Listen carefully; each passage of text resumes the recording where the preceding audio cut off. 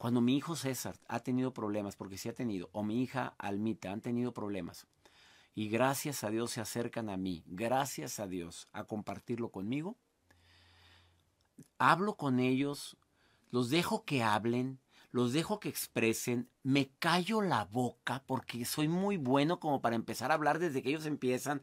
No, dejo que terminen, los escucho, los escucho con el alma. O sea, ya no te estoy diciendo con los oídos, con el corazón, con mi alma los escucho.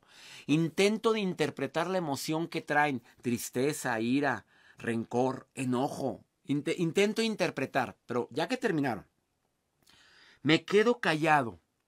Y la primera pregunta que les hago es, ¿me lo dices para desahogarte o me lo dices para que te dé una opinión? No, papi, para que me digas qué opinas. Ah, y entonces medito lo que voy a decir.